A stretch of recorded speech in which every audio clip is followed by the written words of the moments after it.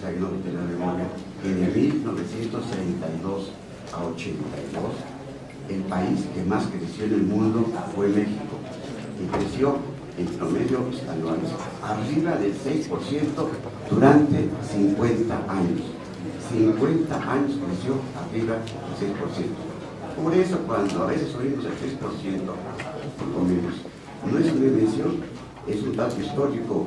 En México pudo hacer durante 50 años. Y por contraste, en los últimos 12 años hemos crecido, incluyendo ya en 2012 con la estimación que hizo el, nivel militar, menos del 2%. En la época en que el durante 50 años, esto, bueno, más tiempo, los 50 primeros años hasta 82, crecimos nada menos que más del 6% con estabilidad nacional. También inflaciones abajo del 6%, 6%. Y luego, bueno, ahora estamos en el 2%, digo, el 2%, menos del 2%, de hecho 1.8%, 1.9%, lo cual nos cita un poco, eh, si es un tema político importante el que hacemos esto, haciendo la memoria histórica de Gracias. Muchas gracias, Fernando. Cumpliste plenamente con, es más, te quedaron ahí de reserva algunos minutos. Para la próxima te podemos dar cuatro. ¿Alguien quiere hacer algún comentario sobre lo que ha señalado don Fernando Solana? Enrique. Ciertamente los 50 años del 32 al 82, 81 sí son de casi el 6% en promedio, el 82 para acá efectivamente ha sido bastante menos. Eh, a mí me gustaría comentar que ya se veía desde los años 60 como no iba a ser tan fácil seguir creciendo esa tasa de crecimiento, si no había cambios importantes en la economía. En los 70 se, eh, se alarga, se, se estira la liga de ese crecimiento a través del gasto público, del endeudamiento y luego del petróleo. Y posteriormente que pagamos por de todo eso, que nos lleva un tiempo a estar así, hasta los 90, eh, donde se empieza a recuperar, me parece, una relación positiva entre el sector público y el sector privado después de la nacionalización que tanto eh, digamos, las relaciones políticas entre el sector público y el sector privado. Y después, realmente, pues sí, efectivamente, eh, no hemos tenido la capacidad de crecer como deberíamos haber estado haciendo. Entonces, eh, ha habido, me parece que no ha sido gratuito, Jesús, el hecho de que en los últimos años se haya, y no digo los 12 años, atrás de los 12 años, desde el presidente ¿no? se ha privilegiado mucho la parte de la estabilidad, dado pues por la historia de algunas crisis que habíamos tenido en el 76, en el 82 y después en el 94. Entonces pues era lógico que lo que había que hacer era eso. Eh, me parece que el enfoque podría ser, es decir, la estabilidad es, un, es una cosa importante, necesaria, pero no es suficiente. Entonces tenemos que pasar, yo me gustaría hacer un grito que decía usted, don Jesús, yo diría es crecimiento, volvamos a crecer, pero yo estoy, estaría de acuerdo, lo vamos a hacer, pero le agregaría con equidad, puesto que la manera como eh, hemos crecido a lo largo de muchísimos años ha sido no siempre con ese enfoque. Y me parece que si agregamos el con equidad, pudiéramos quizás este, verlo más. Nada más hay que tener cuidado. Eh, gracias, eh, Jesús. El, eh, yo, yo también quisiera complementar la idea puesta por Fernando. Efectivamente, y complementada por Enrique, yo creo que se definieron dos grandes momentos de la historia económica de México. Aquella época del modelo de crecimiento acelerado hasta el 105 por 50 años, eh, que se agotó, lo cambiaron, y se agotó sobre todo porque generó sus propias interpretaciones. Un modelo de desarrollo, todos los modelos de desarrollo no son modelos matemáticos, son modelos políticos, sociales, económicos, que tienen que irse ajustando a través del. Aquel modelo se agotó, se quiso sustituir en la la época de los 70 a los 80 80 con un gasto acelerado, generó grande déficit.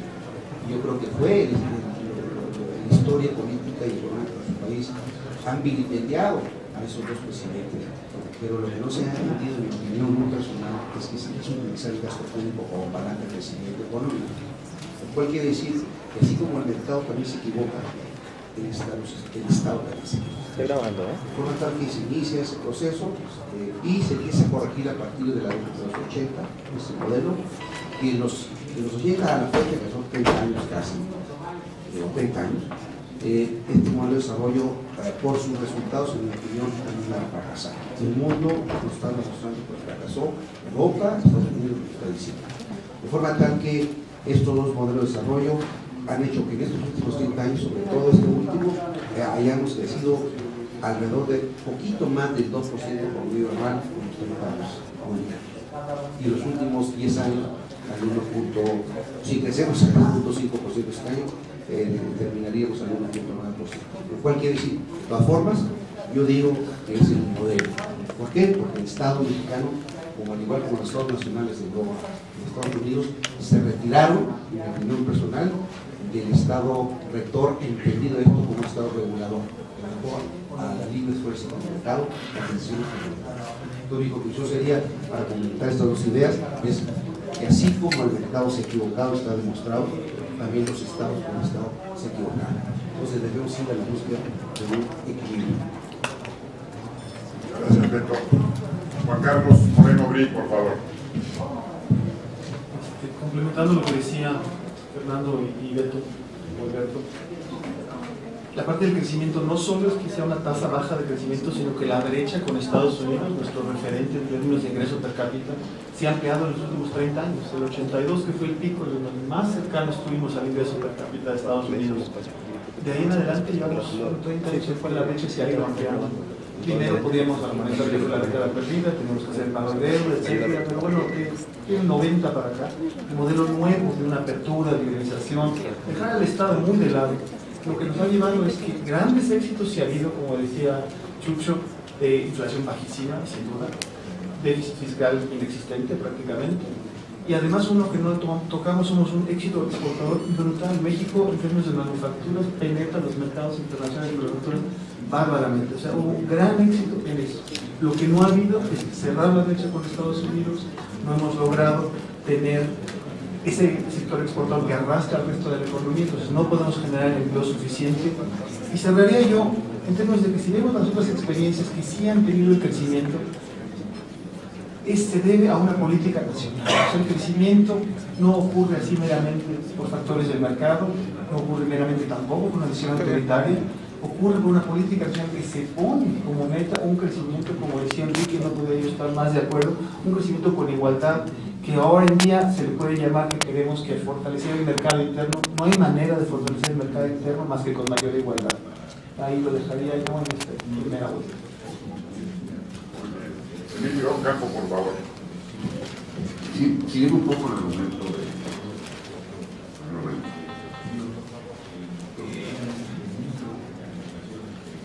Uno tiene esos aspectos que es fundamentales. Es decir, Desde aprendemos a sumar, multiplicar. Tenemos tablas. Se se toma por 5 Sabemos. Pero de tasas de crecimiento nos enteramos. ¿Cuánto es mucho? Pues seis para. Es un de tasas. Eh, pero ahí nos que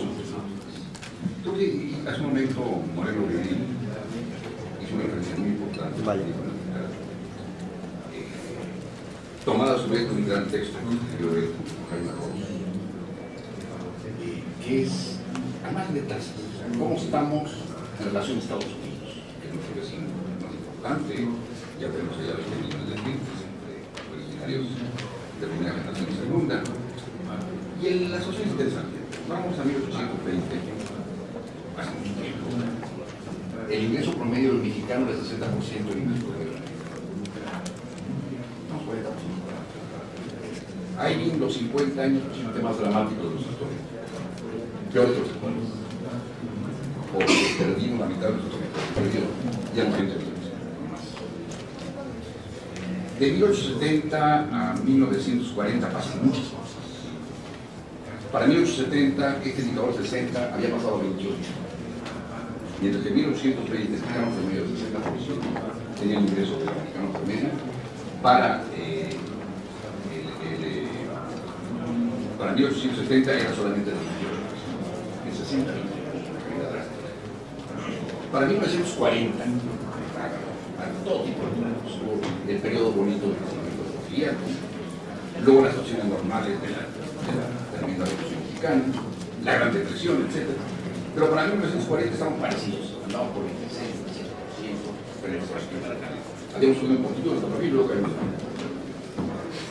Y a partir de 1940, 1981, que es necesario no olvidando este caso, margen de todas las cosas que hemos olvidado, muy es el periodo, yo diría, el periodo más glorioso de la historia de México. Pasamos de que nuestro ingreso fuera del 26% a un 36% Si fuimos el primer país creciendo, no depende, hay unos países chicos que que crecer más, etc. Pero somos un país grandote. Y nos acercamos 10 puntos a la relación de 26 a 36%. Lo vemos, está interesante, lo vemos a nivel de ingreso por habitante y al tiempo este elemento esencial y todo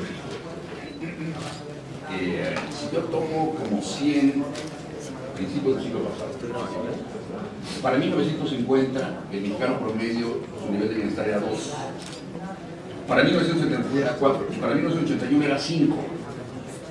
En no ni broma, final de el mexicano promedio tenía 5 veces el nivel de bienestar que tenía 5. Su esperanza de vida había estado de 20 o 30 años, o sea, como lo veamos margen de los problemas iniciales la revolución, etc., una historia espectacular. Y obviamente, a partir de pues, más de una estadística, otra fácil con, con, con porcentaje, vamos el ingreso per cápita de México el año, la economía como en todo, el año 1981. Si hubiera mantenido esa, esa trayectoria, hoy la economía mexicana sería el doble de tamaño. Sería dos veces más grande no lo mantuvimos. Entonces, el asunto es, y creo que eso lo haremos con el título, qué se puede sacar, porque somos expertos en abordar los también mensoquistas. Nos acordamos perfecto de todo humano. Todos conocemos todas las anécdotas de un bellísimo periodo de los pero, ¿y todo lo bueno dónde está? ¿Algo se hizo? ¿Que se el cielo? Gracias, muchas gracias. No me sobró, pero no, yo creo que se ha, introducido en el debate algo que no está mucho en la conversación general. Normalmente hacemos la comparación de la tasa de crecimiento con la historia o con las tasas de crecimiento de países semejantes a nuestro. Pero hoy estamos introduciendo ahí un elemento muy interesante y muy fácil de captar, que es la relación entre el ingreso de Estados Unidos y México y su evolución histórica.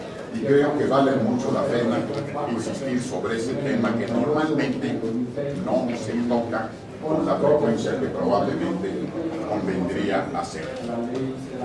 Don Luis Monserrat. Gracias, Jesús.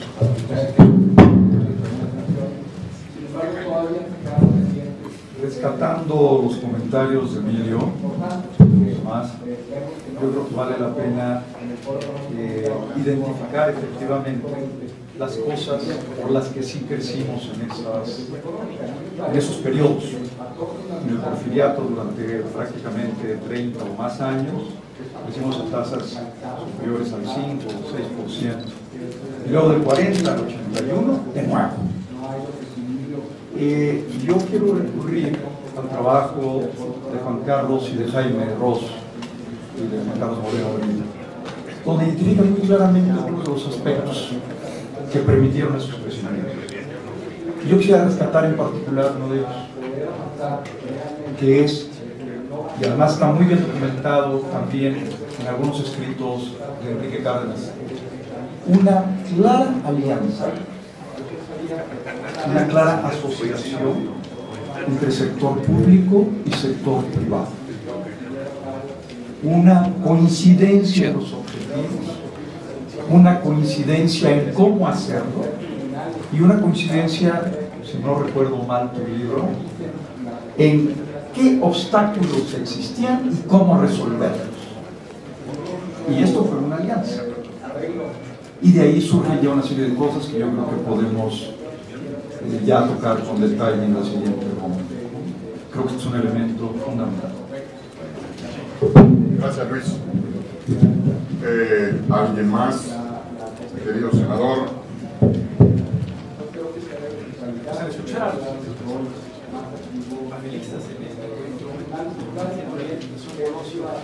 Esta oportunidad de diálogo.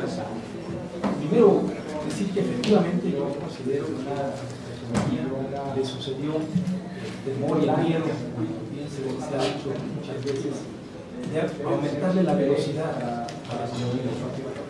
Los choques, las crisis, las fracturas que hemos tenido en las últimas décadas han, hecho que nuestra economía no tenga el, el acelerador que necesita, el miedo a volcarse quizás. Y eso ha sido que se tenga una política económica muy restringida, muy mediocre, muy timorata, digamos, muy decidiosa, y que no hemos podido lograr armonizar la política económica con las políticas públicas y el diseño institucional ya dando, ya ha funcionado bien para que podamos lograr, como ejemplo, el principio de mercado, la crediticia que tanto se menciona en, en, en los textos que, que han hecho referencia, la crediticia ha problema de financiamiento para el desarrollo de. Lo que ha con la banca habla mucho de cómo, de cómo se ha dado esa política crediticia, no ha sido lo suficiente para y hemos abandonado también el mercado interno, a darle prioridad al mercado externo y ese mercado externo nos ha entrampado y ahora estamos este, en muy complicada. Coincido en que sí debemos de tener un equilibrio del Estado, el mercado y la sociedad. Hoy estamos ante una gran cultura que puede presentarse donde el Estado puede salir fortalecido en nuestros intereses, donde tengamos una oportunidad de que el Estado adquiera un rol muy importante en la comunicación y de también de aplicación. Pongo un ejemplo, la Secretaría de Energía deja mucho que desear, hay que agregarle la industria para que sea un ministerio, una, una Secretaría de Estado que oculte la industria de la energía como, como ha fallado en los últimos años y que ahora sea un eje estratégico para el desarrollo. Pero en fin, quisiera seguir escuchando para poder opinar más sobre esos temas. Don Fernando Solana. Yo creo que lo que nuestra visión planteaba originalmente es eh, un primer paso fundamental. En México tiene muchos objetivos. Cada mexicano, mexicana tiene sus propios objetivos. Los gobiernos en diferentes áreas tienen distintos objetivos. Yo creo que es inevitable que un país como el nuestro, tan complejo, grande e importante, tenga distintos varios y ricos objetivos. Pero creo que si lográramos tener un objetivo central, un objetivo que no va a excluir a los demás, pero que va a ser el eje para todos los demás, sería un paso muy significativo y más manejable que tratar de plantear que tenemos 10, 20, 30 objetivos. Yo creo que la idea de crecimiento como el objetivo, crecimiento económico como el objetivo central, y, es fundamental. Y no sé si grabado en referente como sugería don Jesús Silva Gesto, o, o convencidos de eso, los gobiernos, los sindicatos, los empresarios, los académicos, el crecimiento que puede dar la solución a muchas cosas, sustentable, sustentable que muchos hablarían de crecimiento. Este, bueno, pues es un asunto que, cuesta dinero y se puede atender mucho mejor si hay realmente un crecimiento económico. Yo creo que es un crecimiento económico sostenido, sostenido lo que necesitamos. Y, y- y alto, alto crecimiento económico. Y claro que hay que ver cómo vamos respecto con Estados Unidos. Y hay que ver cómo hacemos para tener un comercio también más amplio con Europa. Porque tenemos tratados de libre comercio con Europa y aprovechar. Por favor, señor diputado. Muchas gracias. Ah, eh, a ver, yo estoy identificando aquí un poco lo que, eh, primeramente, ir a la búsqueda de un objetivo central, como dice Fernando, que es el crecimiento económico sostenido con igualdad equidad. Eh, equidad implica lo que Emilio eh, tema del ingreso per cápita, etc. Pero yo agregaría algo que se me ocurre ahorita. Yo creo que en México, dentro de este objetivo debe haber un imperativo. El imperativo debe ser, necesitamos los mexicanos querer volver a crecer. Voluntad. ¿Por qué querer volver a crecer? Porque parece ser que no queremos crecer. Tenemos, insisto, tenemos 30 años ya o 40 este, los últimos años que no hemos, pues este, se establece en el 3% como meta, para arriba o para abajo, dependiendo de los ciclos este, internacionales sobre todo, y ahí nos quedamos, entonces los potenciales están dormidos. Entonces debe ser querer volver a crecer como un imperativo crecimiento económico sostenido en el largo plazo, con equidad y con estabilidad económica y financiera. Sería lo que yo proponería. El otro día escuché una expresión que me causó un gran impacto, un poco a propósito de esta actitud un tanto conformista, no echada para adelante, que creo que ha estado ausente en los últimos años. Alguien decía, estamos mal, pero podríamos estar peor.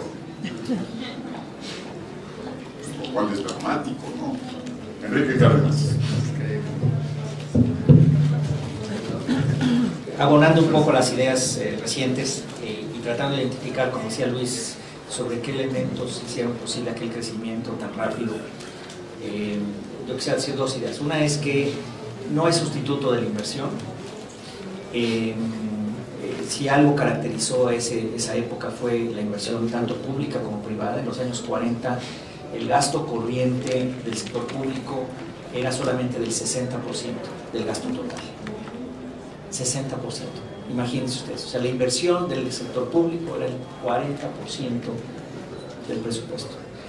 Eh, digo, es muchísimo. No digo que volvamos a eso, pero por lo menos, digo, eso no podemos perderlo de vista. Es decir, la inversión, tanto pública como privada, la privada estaba creciendo al mismo paso. Y eh, efectivamente había esta alianza. Ciertamente, eh, alguien me preguntaba, ¿por qué se malogró? ¿No? ¿Por qué? ¿Dónde fue? ¿Dónde torció la puerca el rabo, digamos? Y bueno, ¿Dónde torció el rabo la puerta? no, la puerca el rabo. Eh, La verdad, ya no va a pasar, porque no los cuento. Este, el- no, lo que yo, ahí es una mera hipótesis, pero en aquella época, según entiendo, se fue creando la idea de que en la parte política solamente el gobierno trataba ese tema, estabilidad política, y en la parte económica el sector privado no se metía para nada. Digamos, había esa separación implícita, tácita, de papeles. Y conforme fue habiendo mucho crecimiento, y a mí se me parece que se fueron co- haciendo algunos votos, digamos, se fue como haciendo complicidades en esa alianza. Una cosa una alianza por la buena se empieza quizás a, a pervertir poquito a poco alianzas que se vuelven medio complicidades y entonces empiezan a tener otro tipo de problemas. Y eso quizás al final dio al traste con, este tema. Entonces, simplemente para mencionar que la- los dos- las dos ideas. Una, inversión a morir. Dos, que se cuide que no haya en esa alianza, en esa cooperación, esas complicidades. Y por lo tanto, lo que usted mencionaba, eh, que es la parte regulativa fuerte del Estado, y dice muy fuerte, independientemente de otros grupos. Y eso creo que nos va a llevar a otros temas. Pero me parece que si eso no se evita, nada más vemos como nostalgia, el puro crecimiento rápido de esa época, podemos volver a equivocarnos. Enrique. Tengo aquí ya un buen número de tarjetitas de estas que les llaman póster o algo por el estilo. Post-its. post-it. Eh, creo que puede ser muy relevante empezar a utilizar la contribución de nuestros invitados para enriquecer el diálogo. Debo decir que se nos está acabando el tiempo de la primera sección, cosa que me complace mucho, porque la verdad que no sé si yo, no sé ustedes allá, pero ha estado muy ágil, muy participativa, cosa que se explica pues, por la calidad de los expertos y del anfitrión.